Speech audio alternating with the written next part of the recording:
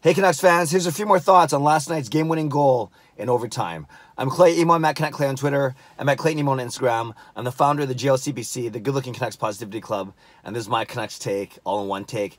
It's Clay's Canucks commentary for Friday, December the 13th. Yes, it is Friday the 13th. I hope, though, it's a good luck day and not a bad luck day as I'm writing my first exam for my first 12 courses for my master's from the Gustin Institute. So wish me luck. I'm going to do that after work later tonight. But I want to talk about last night. I want to talk about the Canucks 1 0 win. As you know, I was at the game with my brother Jason and his son Joshua, and I actually got to meet a lot of people actually uh, from YouTube and Twitter. And it was kind of funny. My brother was uh, was legitimately surprised that I was uh, that uh, about half a dozen different people came up to, and greeted me last night, which was kind of cool. Thank you. I'll, I'll, pay you later. No, no, I didn't pay anyone. It was just kind of it was kind of a nice thing, and I was were able to meet a lot of you last night, which is really really cool. But uh, more, even more cool was the game winning goal in overtime, and you can use whatever adjective, whatever superlative you want to use to talk about what Pettersson did on that goal. It was brilliant. It was outstanding. It was amazing. It was unbelievable. And I'm going to get to that in a second. But I want to give some props to Brock Boeser, and especially because I was kind of ragging on him as overtime started. So this is what happened. As you know, the Carolina Hurricanes took control. They came in. Jordan Staal wins the draw, then actually comes off, and Sebastian Aho comes on, very sneaky. So you got Aho, Teravainen, and Slavin coming in, and they had actually a really good chance. Markstrom really, made a really good save, and then it goes the other way, and then it's Boeser and Horvat, a two-on-one on Slavin, and Boeser's on the left, Horvat streaking down the middle, and then uh, you probably remember Hor- uh, the puck kind of skipped off uh, Boeser's uh, stick a little bit as as he's entering the Carolina zone, but I still think um, you know, given Boeser's unlucky streak of, of shooting, I was expecting a pass to Horvat. So as they're coming over the line, and as as Boeser's fumbling the puck, I actually remember screaming, uh, you know, pass the puck, right? So he doesn't. He takes his shot. Uh, actually, by the time he gets in um, and he, he, gets control, Slavin sliding across, and then it was Aho that's able to close the gap. And now it's a, uh, and then actually, and Teravainen's trailing. So now it's basically a, a two on three. What became a two on one becomes a two on three because all three Carolina guys are back. Horvat's there, and Myers is trailing the play.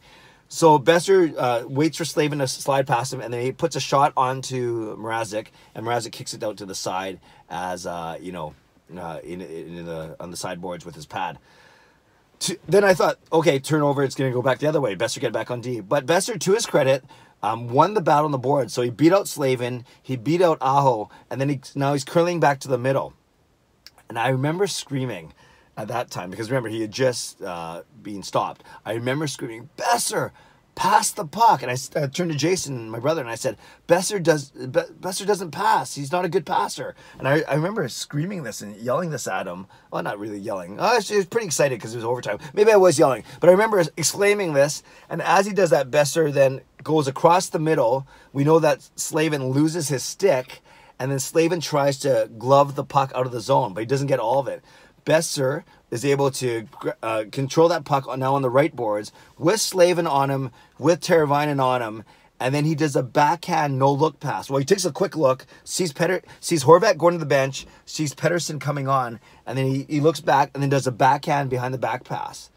Now, I, I, so I got full credit to, uh, full credit to Brock Boeser for his effort. Um, his initial shot, which was just okay, but winning the first board battle on the left side, beating out Aho and sorry Slavin and Aho, and then able to win that battle. You know, as they're whacking, as the puck was going between legs, and Slavin was trying to glove it. Boeser did out, uh, you know, um, outwork the two Carolina players across the slot to the other side, and then he makes that beautiful back pass. Now the back pass if Slavin's stick wasn't sitting in the slot, that back pass, uh, Pettersson wouldn't have caught up to it. I, I know that because I could just tell from the speed. Pettersson had just come off the bench, so then the the puck would have gone to the corner, and then we who knows what would have happened. But inexplicably, the puck hits not only hits Slavin's stick that's on the ice, but almost rides up the stick. If that makes sense. So if, if here's the here's the blade of the stick and here's the handle or the the top half, uh, the puck hits here and then kind of slides along the, the stick. It just doesn't hit it and come off or hit it by itself. It hits it flush and then slides along it and actually turns the stick as it's going. Pettersson takes it off the backhand, off the the uh, off the deflection off the stick, goes around the same stick while Aho is pestering from behind, trying to slash him and hook at him, and then roofs the puck over Mrazek's left shoulder. And an amazing shot. I think it went post crossbar, just right underneath the crossbar. Um, Mrazek had no chance. and it was a brilliant goal. And and you just saw Pettersson's skill there. The way he was able to read the way the puck was going to come off the stick, the way he was able to go around that same stick, and then in one fluid motion with a flat puck on his backhand, everything was on his backhand, completely roof it right underneath the crossbar. It was an amazing goal. It happened. No, it didn't happen right in front of us. It was on the other end last night. But it was the place went crazy, and and it just showed Elias Pettersson's amazing skill, his amazing hand-eye coordination that he's been showing, batting pucks out of the air, one-timers, deflections, whatever it may be. But that was a brilliant, brilliant, brilliant display. I have no other word. Well, actually, I, as you know, I have a lot of other words, but but that was really, really good. But a lot of other things had to happen too. Boeser's effort, despite me yelling at him, and and, and of course a lucky bounce or a lucky ride up the Slavin stick. So all to say, it was a pretty, pretty masterful overtime. It happened in, in only 40 seconds. That's all it took. So one rush to the Canucks end, then uh, a counterattack to the Carolina Hurricanes end, and it made up. It made for made up for the night. You know, the game was kind of slow, especially the first and second periods.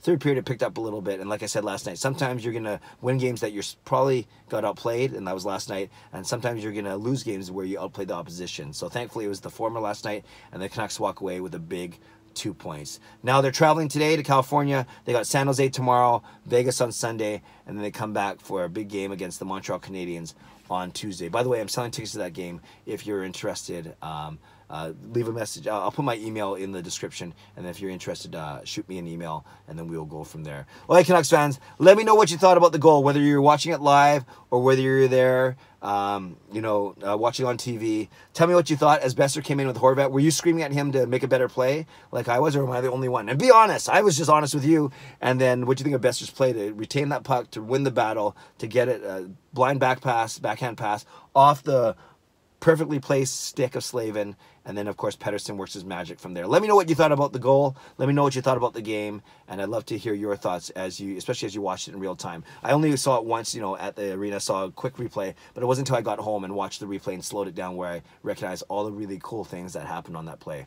So there you go. Let me know what you think. Leave a comment below. I love to read, react, and reply as always. Subscribe if you like to. Like this video if you like to. Enjoy the day. God bless. Go Canucks, go.